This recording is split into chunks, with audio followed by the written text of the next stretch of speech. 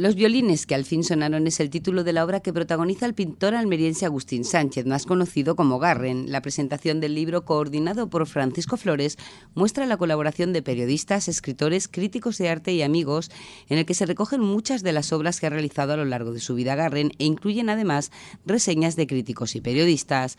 Según Francisco Flores, el trabajo de Garren es la máxima expresión del dominio del espacio.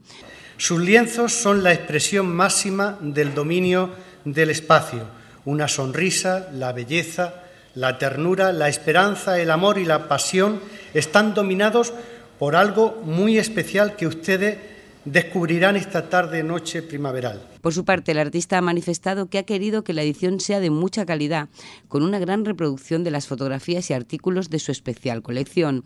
El acto se llevó a cabo en la delegación de gobierno de la Junta y Garren estuvo acompañado por sus más allegados. La exposición presenta 41 creaciones nuevas con miradas, sueños y emociones y podrá disfrutarse en la Galería Argar de la capital.